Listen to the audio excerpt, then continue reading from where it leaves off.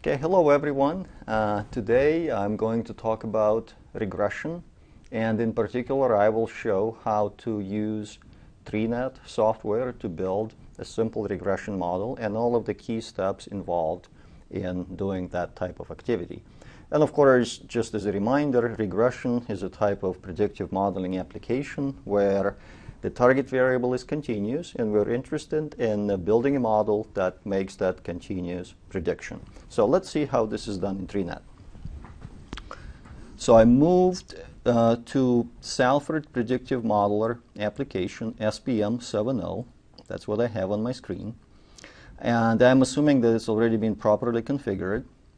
Uh, in order to build a regression, I'll start with uh, opening a data set. So I clicked on Open Data File. Uh, here is the list of files available for modeling, and uh, at this point I navigate into the training data folder. Of course, on your uh, system you may have a different location. Notice that the files of type are set as ASCII, but if you have a different type of uh, data sets, they're also available here. I will work with Boston housing dataset, and the main purpose of that uh, dataset is try to predict house values in Boston area based on some demographic data back in 1970s. So I pick the dataset, I click the Open button. It shows me that the dataset has 506 observations, 14 variables. I skip all of the other interesting stuff here and go straight into modeling. So I click the Model button. The Model Setup window shows uh, the list of variables available and notice I am going to build a regression model. Why? Because the target variable, if I sort variables in uh, file order, is the last one on my list. It's called MV, uh, median value on homes. That's the target. All of the remaining variables will be my predictors. Uh, and notice that the analysis method is set to TreeNet. That's one of the key engines available uh, within uh, SPM software. So I build a regression model, I have my target, I have my predictors. Uh, then the next important step is to set the testing strategy. And in this case, I'll use one of the simplest tests, which is 20% of data will be allocated randomly as a test sample, and everything else will be used for learning. Now, TreeNet is a non-parametric, non-linear modeling engine that works strictly from the dataset, and you can configure some of the key parameters of TreeNet using TreeNet tab and TN Advanced tab. Again, we have a different set of videos to explain all of the different control parameters and uh, some of the basics of TreeNet machinery elsewhere. But to get you started, you can skip all of that and simply introduce uh, a few simple parameters on your own. For example, we will be building 200 trees. That's a good starting point. Each tree will have six nodes, and the learn rate will be set at 10%. Later on, you can experiment by changing those parameters and uh, playing around, see what kind of uh, differences it makes. And again, to keep things simple, I'm working with least squares regression, so I'm trying to optimize sum of squared errors, and I'm trying to use TreeNet to do that. Uh, that's pretty much it. Uh, all the remaining tabs can be explained later uh, in follow-up videos. At this point, I'm ready to hit the start button. So I press the start. Uh, it builds the model in the background, and it comes back with the TreeNet output display that shows uh, model performance in terms of mean squared error on the graph below. Now notice my models are indexed by the number of trees, and the two curves shown represent learned set performance and test set performance. And in this case, they closely follow each other, which is a good sign, and that's something we always want to look at.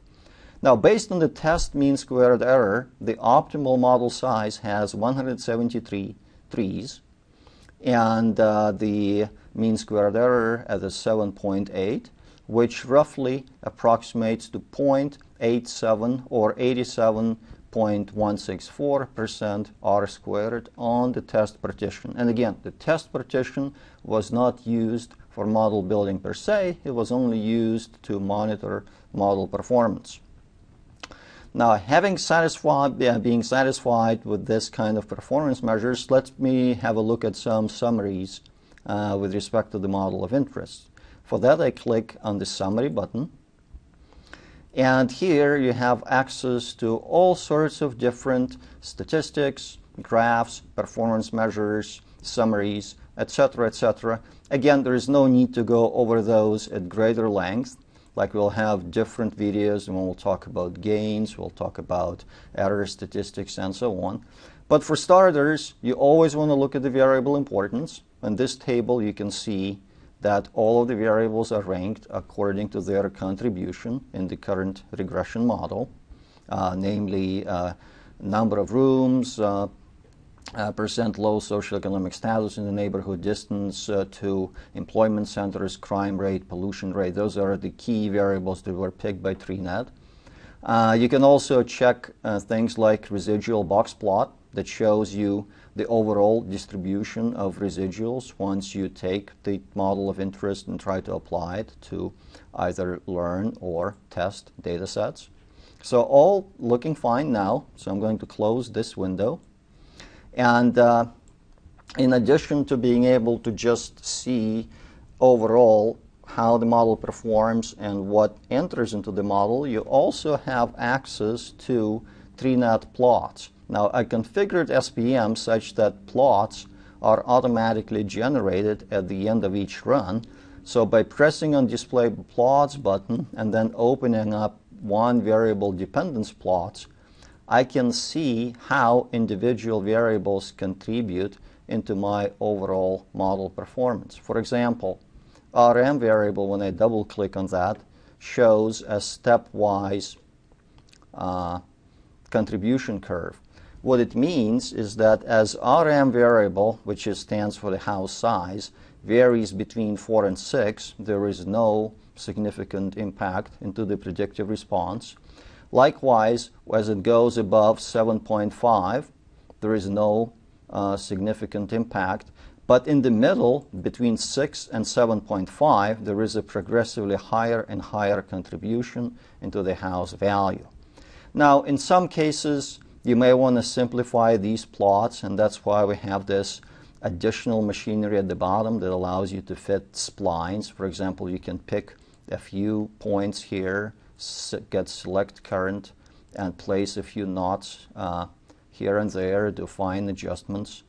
And this way you can see exactly how the curve that TreeNet constructed can be approximated by either an equivalent card basic or SAS code uh, using spline-based transformations.